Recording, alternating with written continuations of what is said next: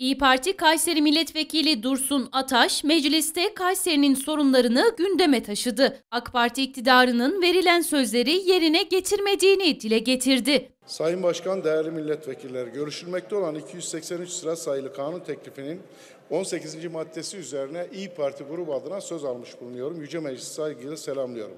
Değerli milletvekilleri, seçim bölgem memleketim Kayseri, iktidarın görmezden gelmesi sonucu tarımdan sanayiye, sağlıktan eğitime, ticaretten ulaşıma, turizmden çevreye, demografik yapıdan kültürel yapısına her konuda sürekli geriye gitmektedir. Halbuki Kayseri çok eski zamanlardan beri sanayi, ticaret ve tarım şehri olarak anılır, diğer Anadolu şehirlerinin başını çekerdi.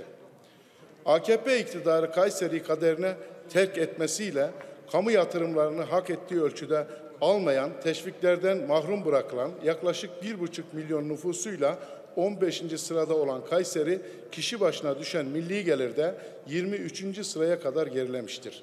Yani Kayseri her geçen gün yoksullaşmaktadır. Kayseri'de yoksulluk oranı %17.6'ya yükselmiştir. Diğer bir deyişle her 100 Kayserliden yaklaşık 18'i yoksul durumdadır.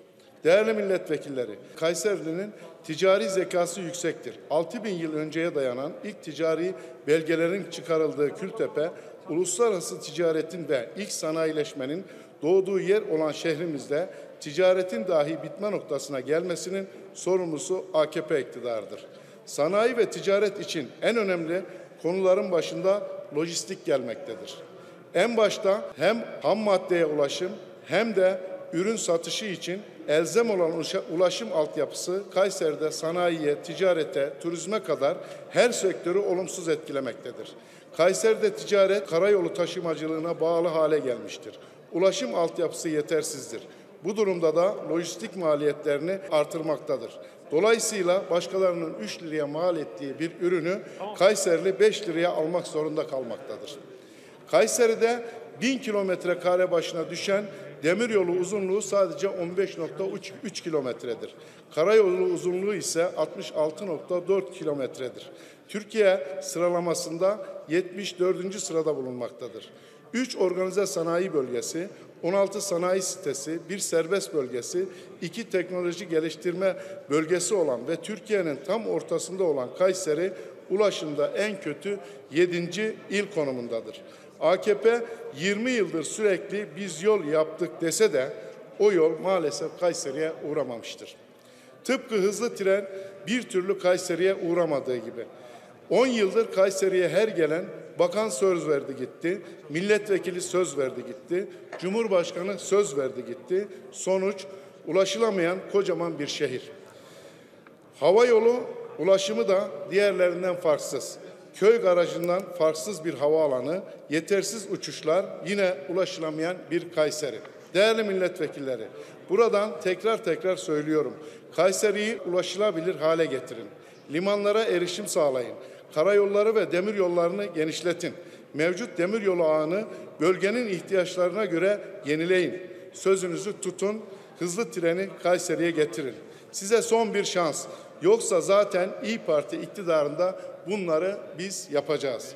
Değerli milletvekilleri, yıllar içinde Kayseri'de tarım ve hayvancılık sektörü de sekteye uğramıştır. Kayseri'nin son 5 yılda %11.4 tarım alanı ranta kurban edilmiştir.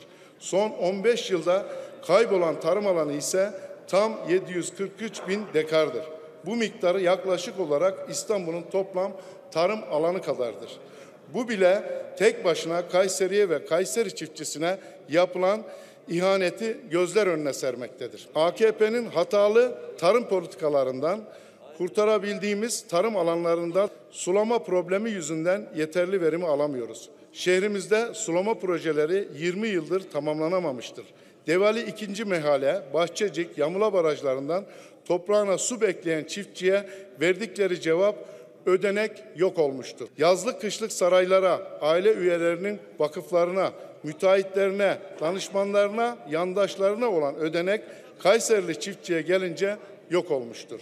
İktidarın ilçe bazında teşvikler vermemesi nedeniyle Yahyalı'nın kirazı, elması, Tomarza'nın kabak çekirdeği, Pınarbaşı'nın patatesi, pancarı, Yamulan'ın patlıcanı, İncesu'nun üzümü, Akkışla ve Bünya'nın Gilebolusu, Develi'nin gaceri, Sarız'ın buğdayı, Yeşilisar'ın ay çekirdeği sahipsiz kalmıştır. İlçelerimizin pek çok mağduriyeti daha bulunmaktadır. Bunlardan en önemlisi de doğalgazdır. Her yere ulaşan doğalgaz Kayseri'nin 6 ilçesine halen gelmemiştir. Sarız ve Pınarbaşı ilçelerimiz planlamaya dahi alınmamıştır. Planlamaya alındığı söylenen Sarıoğlan, Akkışla, Felahiye, Özvatan'a sözde 2023'te doğalgaz gelecek. Değerli milletvekilleri sonuç olarak Kayseri'nin sorunları saymakla bitmez. Pek çok sorunla sürem yetmediği için değinemiyorum. Kısacası iktidar tarafından unutulmuş, sahipsiz bırakılmış koca bir şehrin adıdır Kayseri. Ancak Kayserili bunun hesabını ilk seçimlerde sorar diyor. Yüce Meclisi saygıyla selamlıyorum.